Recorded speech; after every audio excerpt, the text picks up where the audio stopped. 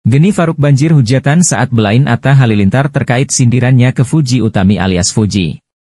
Seperti yang kita ketahui Atta Halilintar dituding menyindir mantan pacar Tarik Halilintar, Fujianti Utami, melalui sebuah konten TikTok yang diunggah baru-baru ini di akun pribadinya, Atta Halilintar.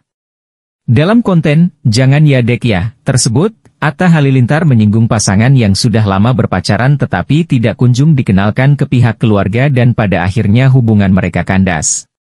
Narasi lengkap yang diungkapkan Atta Halilintar memang mirip dengan kisah cinta Tarik dan Fuji. Itulah yang membuat warganet geram dan menuding suami Aurel Hermansyah itu menyindir Putri Haji Faisal. Setelah konten tersebut ramai diperbincangkan hingga beredar di akun-akun gosip seperti Lambe Turah, Atta Halilintar segera meminta maaf.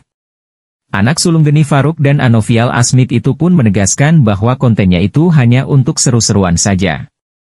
Kebetulan frasa, jangan ya dek ya, sedang menjadi trendsetter di TikTok.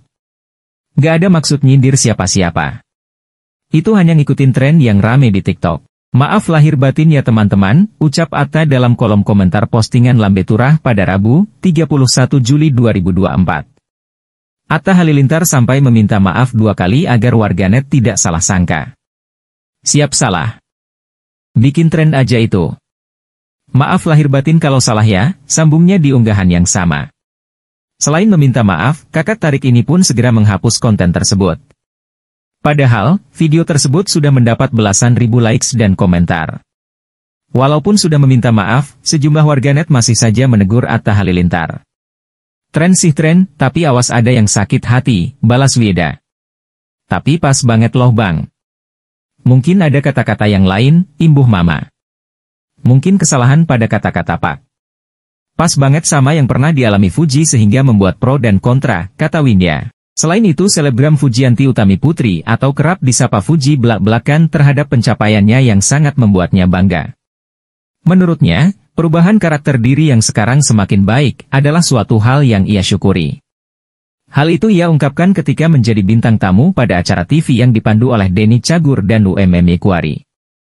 Bukan bangga karena hasil materi berkat kerja kerasnya selama ini, Fuji justru mengungkapkan hal tak terduga. Pasalnya saat ia masih kelas SMA dan menduduki dunia perkuliahan, Fuji sering kali merasa overthinking atau berpikir secara berlebihan di setiap malamnya. Kebiasaan itulah yang kerap membuatnya stres dan melampiaskannya ke orang-orang terdekat, kayak dulu aku tuh sangat amat semuanya dibawa overthinking terus jadi stres, jadinya depresi sendiri, ungkapnya, terus akhirnya jadi melampiaskan emosiku ke